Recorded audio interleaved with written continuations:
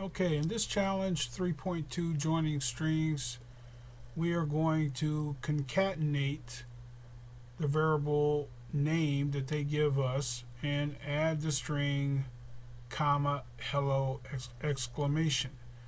So to do this, what we're going to do is we're going to create a new variable that includes the variable that they have here, name. So in our new variable, we're going to call this a new name. And we're going to assign it this variable, which is the one they're giving us, name. And then we're going to concatenate our string hello, sorry, hello, comma, hello. We're going to concatenate comma, hello to this variable name. So what we're going to do is we're going to add a parentheses,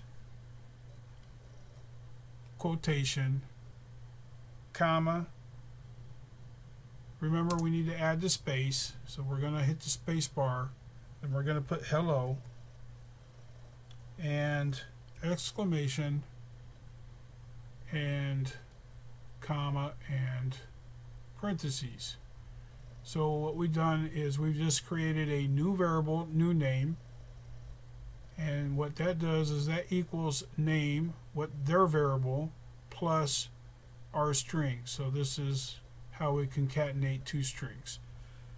And then on the next line, we just go in and we print new name.